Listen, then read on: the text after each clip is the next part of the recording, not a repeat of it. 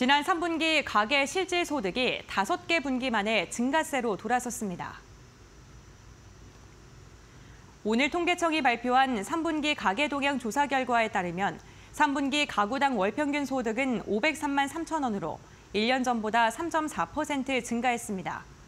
소득 유형 중 가장 큰 비중을 차지하는 근로소득은 322만 3천 원으로 3.5% 늘어났습니다. 취업자가 증가하고 임금이 상승한 영향입니다. 물가 영향을 제외한 실질 소득도 0.2% 증가하며 2022년 2분기 이후 5분기 만에 증가세로 전환했습니다.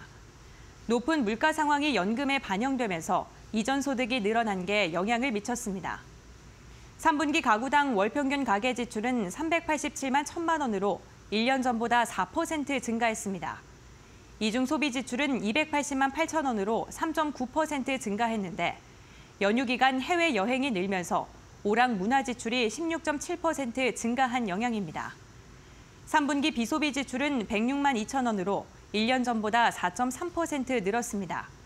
고금리 기조가 장기화하면서 이자 비용이 24.2% 늘어 전체 비소비 지출 증가를 이끌었습니다.